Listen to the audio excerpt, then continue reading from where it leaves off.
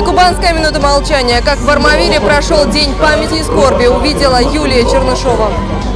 Дорожная безопасность и вопросы здравоохранения. Эти и другие темы обсудили на очередном сходе граждан. Об этом материал Ирины Чупиной. Армавирцам ограничили время для полива сада и огорода. Тех, кто не будет соблюдать правила, будут наказывать. Началась Великая Отечественная война советского народа против немецко-фашистских захватчиков. Наше дело правое, враг будет разбит, победа будет за нами!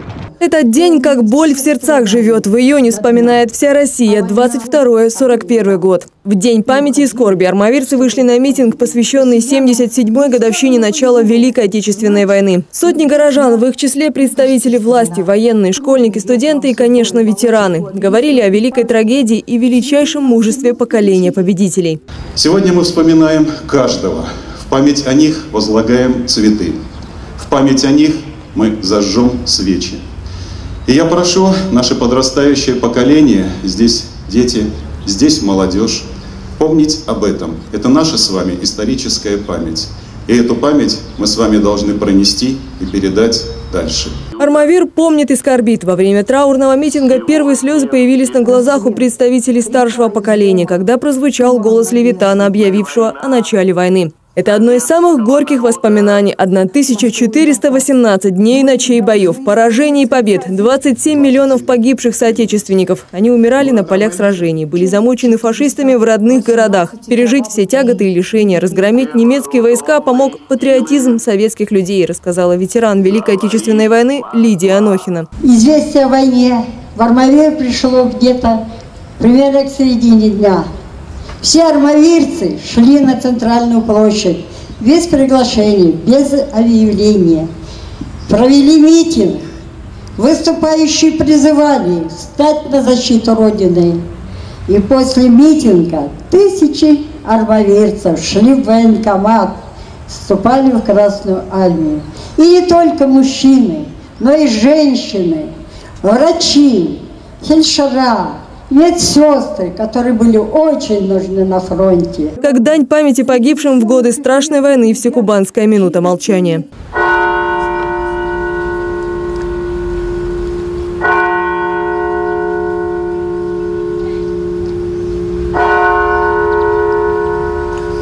Митинг завершился возложением цветов и траурных венков к мемориалу защитникам-армавирцам. Юлия Чернышова, Александр Жирилеев. Служба новостей Армавира.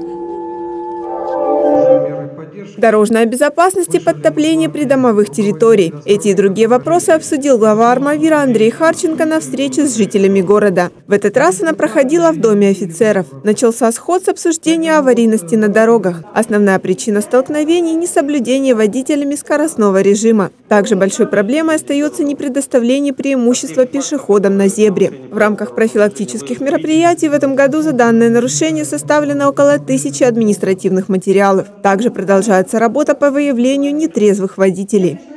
В этом году уже выявлено больше 20 фактов повторно управляющих транспортными средствами в состоянии опьянения. Это уже 264 статья Уголовного кодекса. Людей ничего не останавливают, продолжают употреблять и ездить за рулем. О всех фактах, которые нарушение правил дорожного движения вы видели либо узнали, прошу вас записать телефон 32673, это дежурная часть в ГАИ города Армавира, куда вы можете позвонить, сообщить сведения о правонарушениях. Большой проблемой для жителей района военного городка является подтопление дворов, расположенных рядом с летным училищем. Дело в том, что дождевая вода с территории военной части из-за отсутствия исправно работающей ливневки стекает к близлежащим домовладениям. Решение вопроса осложняется тем, что данная часть муниципалитета подконтрольна Министерству обороны России администрация города пытается его решить на краевом и федеральном уровне. Совсем недавно с Минобороны была достигнута договоренность, и руководство летного училища подключилось к решению проблемы. Для того, чтобы начать поэтапно это все сбрасывать и спускать, чтобы понизить уровень грунтовых вод в огородах и в домах частных домовладений, нам надо будет все-таки перед э, домами, там где въезды во дворы, там где трубы лежат, их э, выводить по уровню. Соответственно, на территории части Денис Владимирович тоже вместе со своими службами позанимаются тем, что сегодня там стоит вода, ну и, соответственно, есть э, часть училища, там, где заболоченная местность.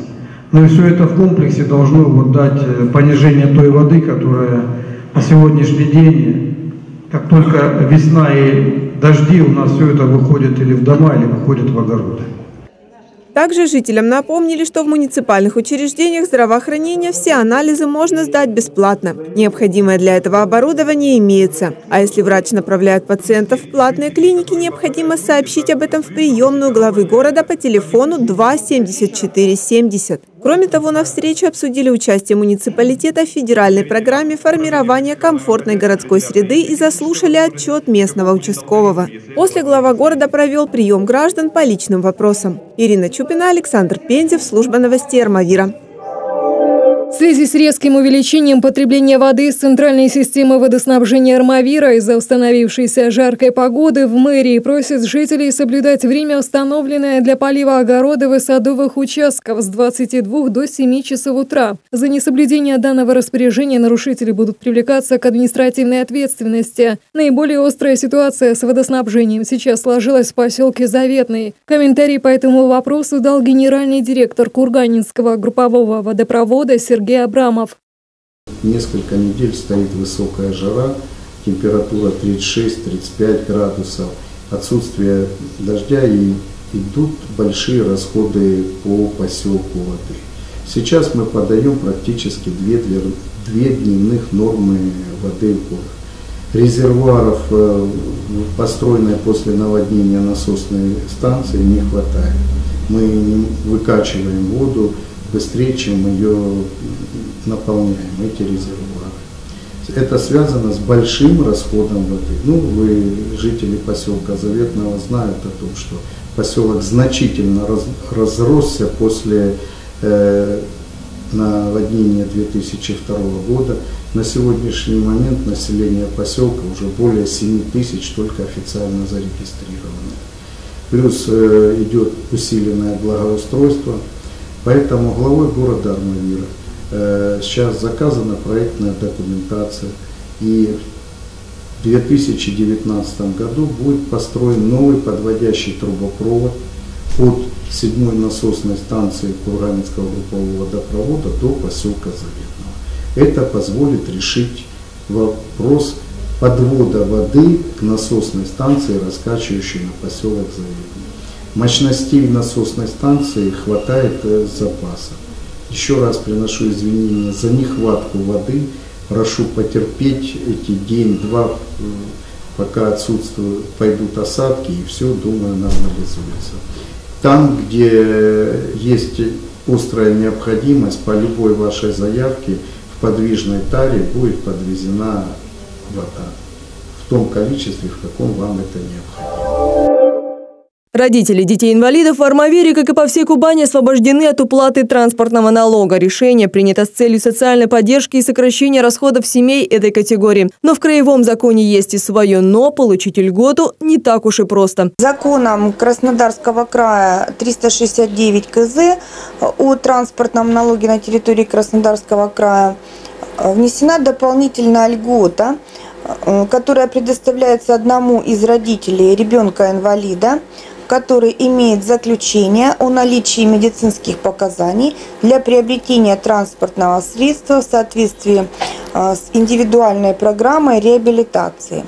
Льгота действует с 1 января 2017 года. Как уточняется, льгота предоставляется по определенным критериям для автомобилей мощностью до 150 лошадиных сил. Для оформления льготы необходимо представить в налоговые органы заявления и документы, подтверждающие право на нее. Паспорт родителя, свидетельство о рождении ребенка, технический паспорт на автомобиль, копию документа индивидуальной программы реабилитации ребенка-инвалида. Юлия Чернышова, Александр Жирилеев, служба новостей Армавира. Как армавирские школьники сдали единый государственный экзамен. Уже известны результаты. От А до Я русский язык знают шесть выпускников. Они получили все 100 баллов за работу на экзамене. Одна из них написала еще и на 100 баллов экзамен по химии. Девушка-выпускница седьмой школы. Остальные стабальники – выходцы из школ номер 17, 19, гимназии номер один и лицея имени Растохина.